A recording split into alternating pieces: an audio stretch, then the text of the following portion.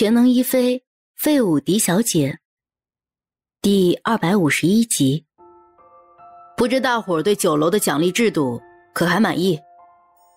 江子生满意的看了他们一眼，唇角微微上扬。灵灵丹，这是真的吗？